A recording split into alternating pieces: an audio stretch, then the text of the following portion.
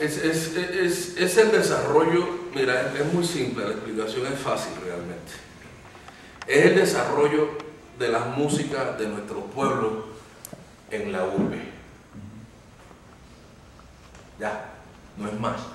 Cuando, cuando el puertorriqueño y el cubano y el dominicano y el nicaragüense y el panameño y el mexicano llegan a Nueva York, donde se juntan ahí y se ven influenciados ahí por el jazz, el bebop, el desarrollo del bebop, el desarrollo del, del, del funk y del RB, ¿cierto? Y del gospel. Y todas esas cosas influencian uno a los otros. Es, es, es, una cosa elemental, es lo mismo que pasó en la época de la colonia en, en, en América Latina y en el Caribe. En Puerto Rico hay esencialmente, digamos, tres ritmos bien básicos, ¿cierto? Pero, pero ¿qué pasa? ¿De dónde vienen esos dos o tres ritmos bien elementales? Bomba, plena, danza. ¿De dónde vienen? Pues porque trajeron a un montón de tipos de allá del África en vacaciones forzosas, los metieron, los metieron en Puerto Rico, pero trajeron básicamente, pusieron a tres tribus en Puerto Rico. Y si tú miras, tú pones, tú encierras a tres personajes en un cuarto y le cierras la llave y los tipos empiezan a pensar y a hablar y empiezan a compartir información. Y cuando salen de ahí, salen de alguna forma propios, pero salen también híbridos de lo que han aprendido los otros.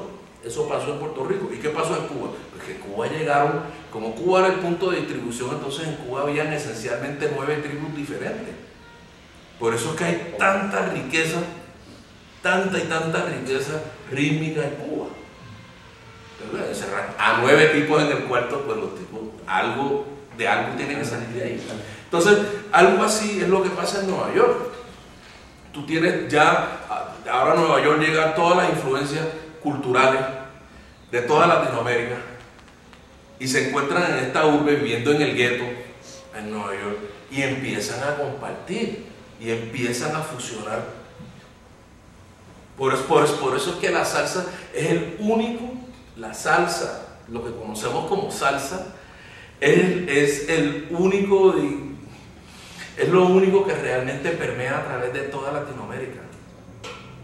De toda Latinoamérica, completa. Algo la salsa llega y se escucha en algún punto, en algún sitio, en toda Latinoamérica. Porque es que tiene influencias de todos.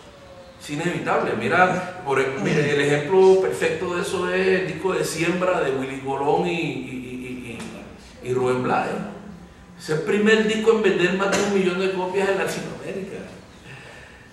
Pero ¿qué? María Leonza, María Leonza es venezolano por donde quiera que tú lo quieras poner.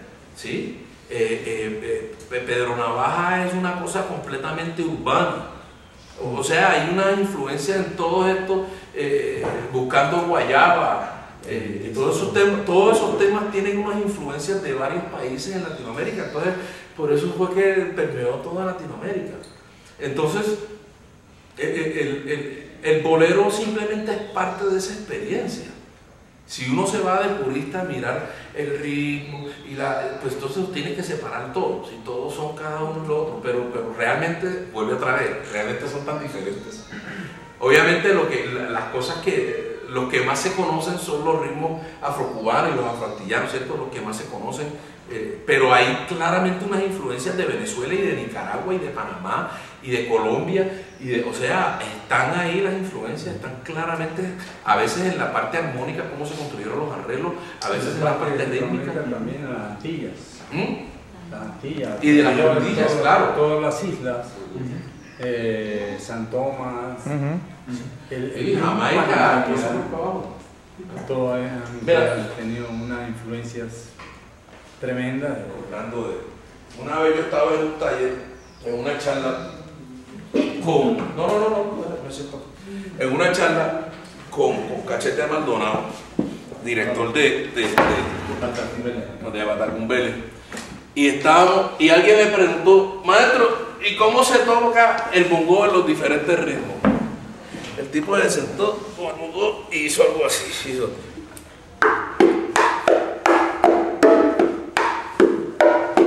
El bolero.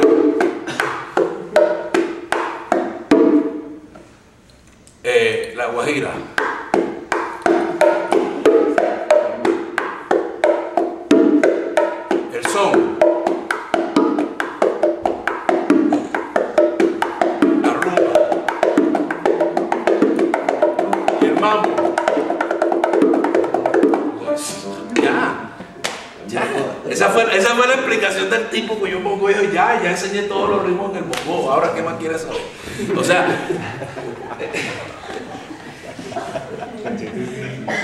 Pero, pero, pero lo que pasa, lo que pasa es que, es que no es solamente, o sea, no es un solo elemento el que define.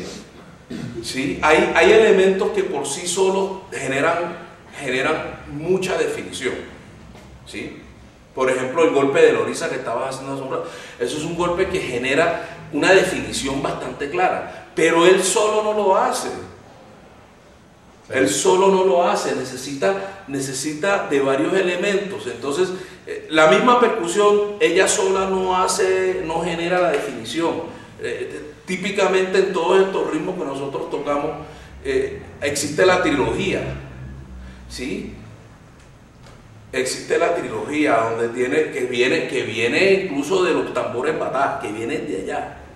El Iyá, el, el, el Itóteles, el sí, el Iyá es el grande, si conocen los, los, tambores batá, el, el Itóteles es el mediano y el Ocóncolo es el chiquito, ¿cierto? ¿Y quién manda la parada? El, el, el, la, el que es el grande, es el que define cuándo se cambian los patrones, cuándo se camina. Cuando vamos en este patrón, entonces de aquí vamos a pasar a este. Y el que manda esa orden es el Iyá. Y el, y el lo que hace es seguirlo. Lo que hace es seguirlo. Y el Ocóncolo lo que hace es jugar y adornar todo el tiempo. Entonces la trilogía también tiene, eh, tiene otra imagen que es la madre, la padre, el padre y el hijo. Entonces, la mamá es Eliyá, la que manda la parada, la que dice, por aquí nos vamos. El, el, Itótele, que es el padre, es el huevón que dice, sí, mamita, ya voy. Y el Ocóncolo, que es el bebé, que es el chiquito, es el que está jugando todo el tiempo. Es el que está adornando y haciendo las cosas, ¿sí? Inquieto, como un niño chiquito. Esa trilogía existe en todo, casi todos nuestros ritmos latinoamericanos. Llamador, seguidor y, ¿ah? y alegre. O sea, ese tipo, todo eso existe, es, la misma trilogía. Entonces, ahí tienes un complejo, pero, pero la música de esos ritmos no lo definen ellos solos. También tienes que contar con la armonía, también tienes que, perdón, con la melodía, discúlpenme. Tienes que contar con la melodía. Lo que canta, la melodía que canta el cantante tiene que estar en la clave con eso. Y todos estos ritmos tienen clave. En Colombia hay clave. El rock tiene clave. Claro, claro, claro. El golpe básico del rock, el golpe elemental del rock viene de un toque de batá, que es este.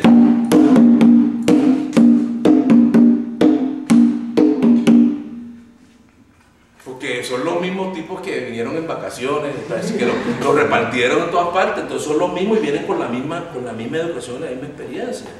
Entonces, pero no son, no son ellos solos los que lo definen. Por eso, precisamente por eso te decía que cuando, cuando mostrabas el ejemplo con el bongo de que, bueno, eh, la misma base puede usarse para diferentes ritmos y mm, bien explicabas que no es solo el bongo el que define ese ritmo, sino una familia de instrumentos y de otras características. Entonces, precisamente también allá iba el, el hecho de que de preguntar, entonces, en el piano, ¿qué es lo que define determinados ritmos o estilos? Y bueno, y de una vez les hago la siguiente que es ¿qué características interpretativas deberían tenerse en cuenta al tocar, al, momento de tocar un piano salsero, piano de salsa? Entonces, bueno, las dos cosas. Sí es importante tener en cuenta que estamos tocando dentro de la salsa pachanga o guaguancó o cha-cha-cha o no lo es? Yo, yo creería que sí, pero bueno, sí, Sí, sí, no, clara, claramente, claramente ahí ya lo que, lo que te digo, hay, uno, hay unos patrones básicos que, que, corríjame por favor si estoy equivocado, pero hay unos patrones básicos que, que, que de algún modo identifican el, estilo en que se toca, la forma para, para, para crear un, un sonido, para crear un sonido en combinación entre todos. ¿sí? Por ejemplo, eh, tú en una pachanga no haces. Tú no haces eso, pero es más parecido a esto, es más plano, es más, ¿sí? No es tan sincopado, no ese, eh, o sea, ese.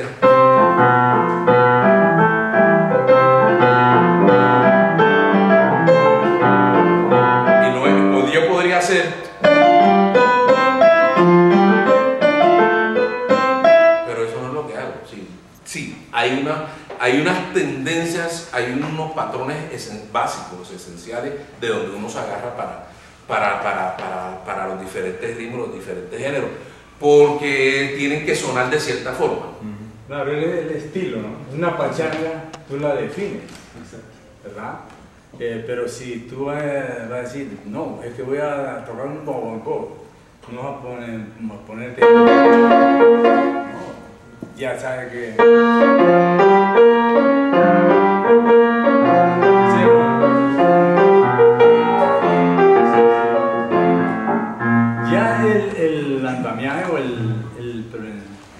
digamos, el tumbado ya te está diciendo que hay una clave metida ahí y que te llama a lo que es el bongo. Por eso es lo que, digamos, hoy en día la mal llamada salsa. Es una serie de ritmos que hay que identificarlo. Hablamos de, del son, montuno, como, eh, puede ser una, en tiempos que se hablaba de la guaracha, ¿verdad? La guaracha es, una salsa, simplemente que a la, a salsa hoy en día se le, se le puso el bombo de, por medio. Y eso, que esto hace tiempo ya se, se hizo. Sin embargo, pues hay, eh, digamos, ahí, digamos, la clave donde siempre tiene que haber esa conjunción rítmica de la con con el bongo y el timbal. Por eso eh, lo que está hablando Israel es una trilogía. Son tres personas que van a definir y están haciendo diferentes figurajes para que coordinen lo que es incluso estar metido dentro de la salsa. Características interpretativas que se deben tener en cuenta para tocar un piano salsero. Eh, ¿Qué creen que hay que tener en cuenta?